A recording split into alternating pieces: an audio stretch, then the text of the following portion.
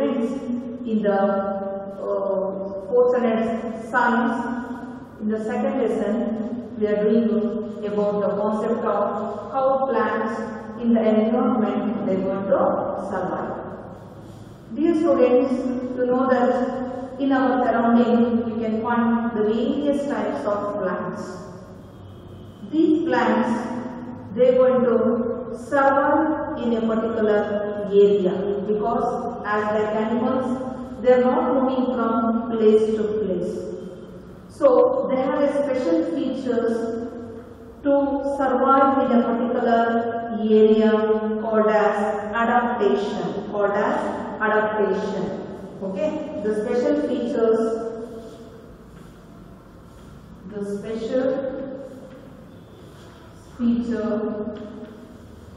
features allow plant allow plants to survive survive in a particular particular area area called called adaptation called as adaptation as the plants as the animals are not moving as like animals the plants are not moving from place to place so the plant body have a special features allow the plants to survive in a particular area is called as adaptation. Okay. So now let us discuss some of the adaptations among the plants. Let us discuss some of the adaptations.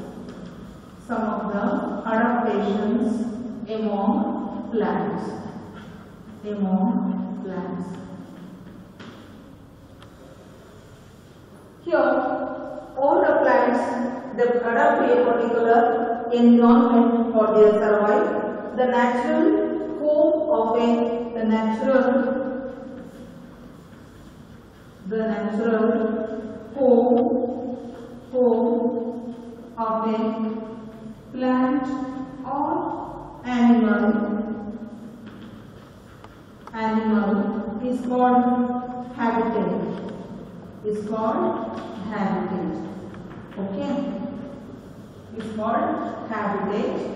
Here the natural home of a plant or animal is called as habitat. Habitat means living place.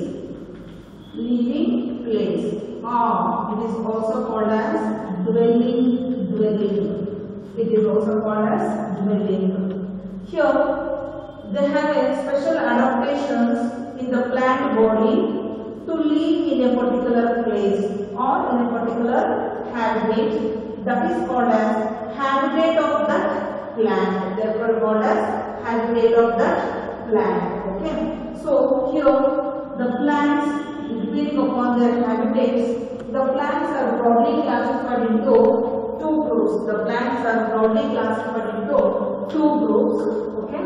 One is terrestrial plants another is aquatic plants. All the plants all the plants are broadly classified into two groups. One is terrestrial plants terrestrial plants and another is aquatic plants terrestrial plants and aquatic plants here terrestrial plants the plants on land. The plants on land. The plants on land are called as terrestrial plants similarly the plants in water. The plants in water. Water is called as aquatic plants. Dear students, you may observe where you find coconut tree. Usually coconut tree is on land. Or you find some of the plants like uh, uh, neem plant, banyan tree, teak plant which are found in our school surrounding. Isn't it? There are so many plants having a broad leaf plants called as the teak plants. Tree, trees which can be found in our surrounding, the school surroundings, isn't it? So they are the plants which are called as terrestrial plants. And also you might have observed the lotus, the lotus plant and the lily plants, then hydrilla plants, they are found in water. So those plants are called as aquatic plants. Okay. So here the terrestrial plants are again classified into various groups upon their habitats. Depending upon their habitats, all the terrestrial plants are classified into again different groups according to their habitats. Okay. So some of the plants they are found in the plain fields, that is in the plains. Some of the plants we can found in the found on the mountains. Similarly, some of the plants we can found in the deserts region. Deserts. Isn't it? Some of the plants we can find in the coastal region. Isn't it? In the coastal land. Isn't it? And also some of the plants we can find in the swamp. In the swamp. Isn't it? Like that. The, all the terrestrial plants they are going to classify into subgroups depending upon their habitats, plains, mountains, deserts, coastal area and also swamps. Okay. So now we can study some of the examples for the plants which are belonging to this group. Okay. So the plants which are grown on the on the plains, I told that neem, neem from garden to forest area we are finding so many, so many variety of trees.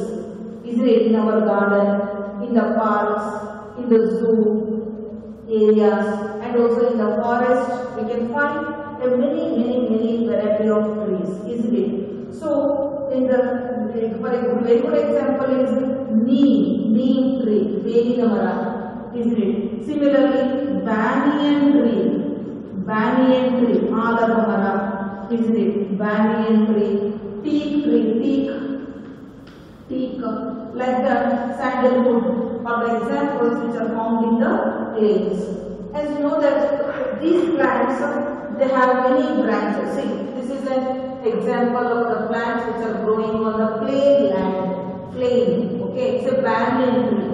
This is this is a, uh, a structure of the banyan. This is a teak plant which can be uh, also found in our school premises also.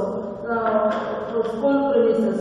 Okay. So uh, uh, here this is the trees have branches and numerous leaves. These trees have branches and numerous leaves.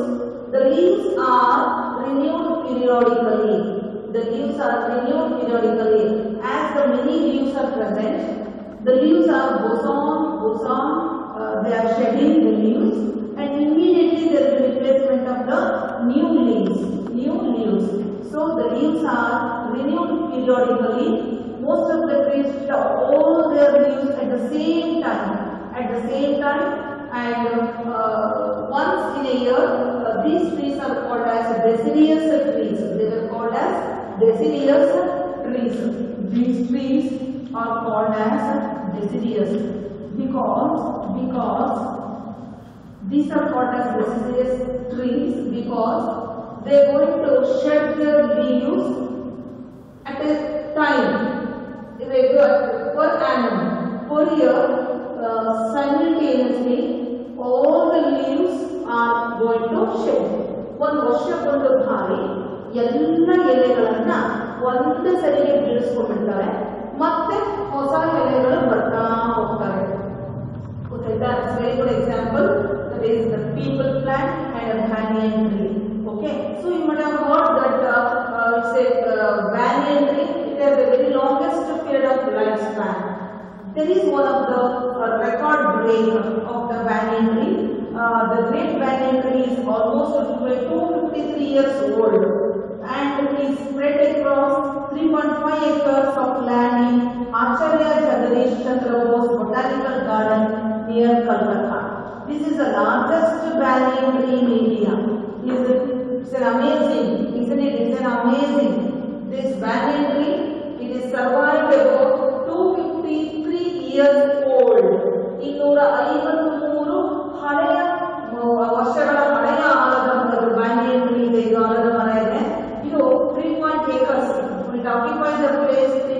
Okay, it is in Acharya Jagadish Chandra Bose Botanical Garden in Kolkata. Here, Kolkata.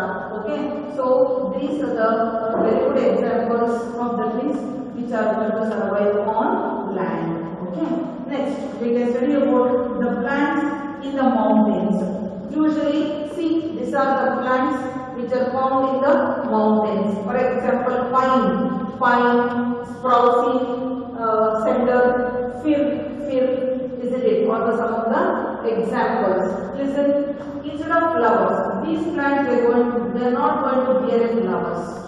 Okay, they have cone and hence are called as coniferous. Usually, these plants, the plants of the mountains, are called as the coniferous. Coniferous because they are in the shape of the cones. They are in the shape of the cones. So they were called as coniferous. The cones have seeds in them. Coniferous have a needle-like leaves which have a waxy coating. Which have a waxy coating. This helps the uh, snow sliding. Uh, snow sliding. Uh, snow, if it is uh, in- actually they in Himalayas, then in uh, Kashmir, uh, there this type of plants can be grown. If it is in cone-like leaves in the cone shape, there is sliding of the snow. Snow ಏನಾಗುತ್ತೆ ನಿಲ್ಲಲ್ಲ jar ಹೋಗ್ಬಿಡುತ್ತೆ sliding of the, the snow. These trees have straight and uh, they tall trunks, tall trunks and needle-like leaves. These trees do not shed their leaves at the same time. A few leaves fall and a new ones grow. So they are always green. Hence they are called as evergreen trees. They are always green in color because at the same time they are not going to shed their leaves. The leaves gradually uh, spread in one branch and then the another branch. So the replacement of the new leaves in the one branch and is the shedding of the leaves from the another branch. So they are called as evergreen trees. They are evergreen trees. The leaves are always in the cone shape. They are also always in the cone shape for the easy sliding of the snow. For the easily sliding of the snow. Okay. So these are the habitat of the uh, plants of pine, spruce, cedar and fir which are found in the Himalayas where the snowy region. In the snowy region. They were called as coniferous plants. The coniferous trees as the shape is in cone like. Okay. So there are adaptations of the plants which are found in the mountains. Then coming to the plants which are found in the desert. Okay. Here desert. As you know in the desert there will be a very less rainfall. Less rainfall. The rainfall is very less. So because of that uh, is uh, because of that uh, there will be a scarcity of water. There will be a scarcity of the water. There will be a scarcity of water. The plant will not get enough water to survive. So here in the desert region, we can find the plants like cactus.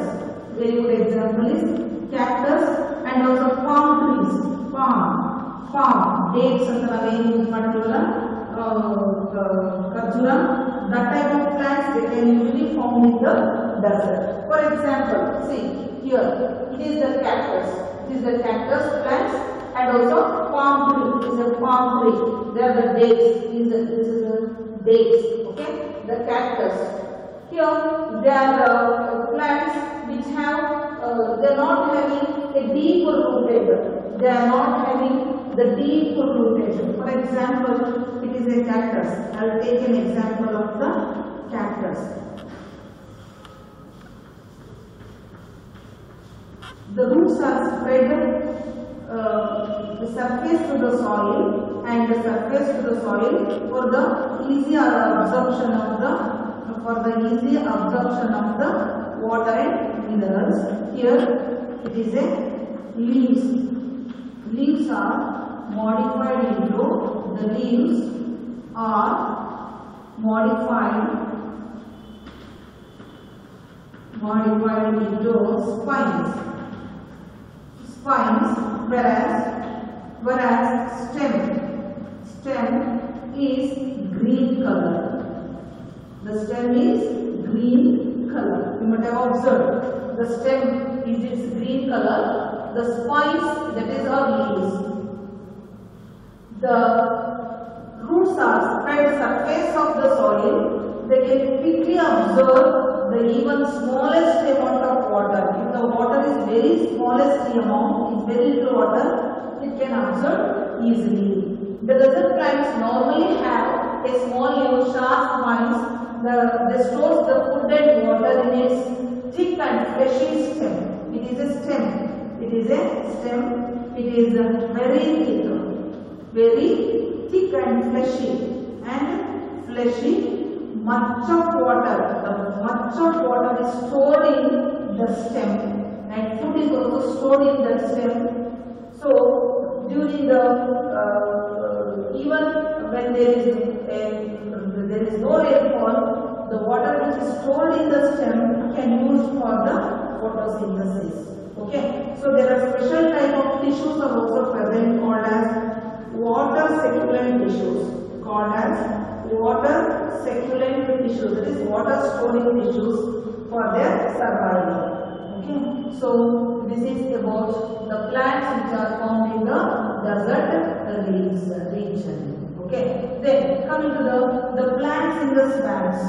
Here the plants in the swamps the plants in the swamps here see this example is mangrove example is mangroves trees called as mangroves and uh, another example is uh, uh, oat, oat trees, oat trees.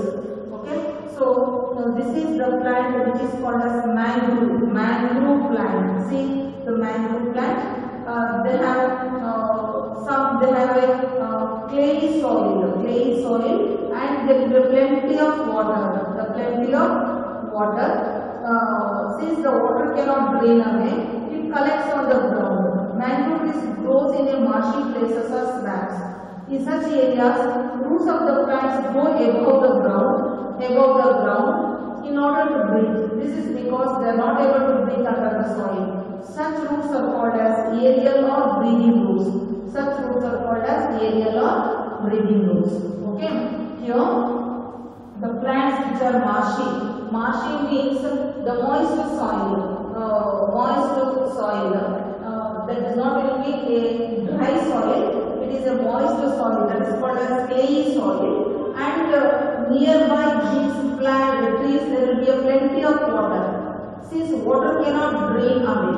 ಯಾವಾಗಲೂ ನೀರು ಒಣಗೋದೇ ಇಲ್ಲ ಯಾವಾಗಲೂ moist ಇದ್ದೇ ಇರುತ್ತೆ so ಯಾವಾಗಲೂ ನೀರಿದ್ದಾಗ the roots cannot breathe. The roots of these plants cannot breathe. So the roots will be in upper surface. The roots will be upper surface of the soil uh, because for the breathe in order to breathe.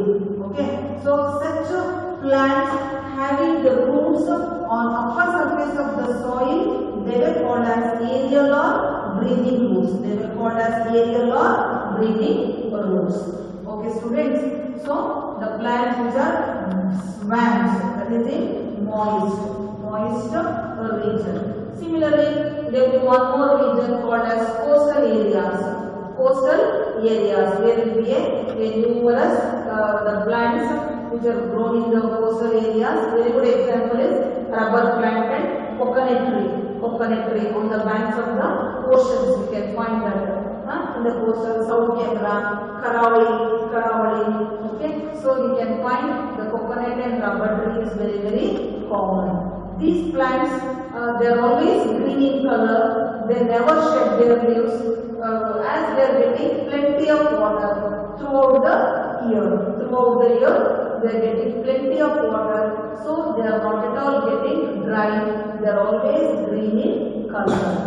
Okay, and also there are plants which are belong to the grass. Along with this, there are some plants which are belong to the grass family in the form of grass. Very good example is bamboo, bamboo and rice, wheat, wheat, jowar, isn't it? Huh? They are all in the form of grass, bamboo, sugar cane. So they are called as grass family. They belong to the group of grass family. Okay, like that, under the terrestrial plants, we can find that some of the plants which are grown in the plains, they have a special adaptation for their survival, and some of the plants are found in the mountains, and some of the plants which are found in the deserts, some of the plants which are found in the coastal belts, some of the plants which are present in the swamps. Okay, so they have the special features survive in a particular area. So that is we learned about the concept of terrestrial plants. In the next week we can, in the next class we can study about the aquatic plants, how the plants are survive in water having a special adaptation. Okay, thank you students.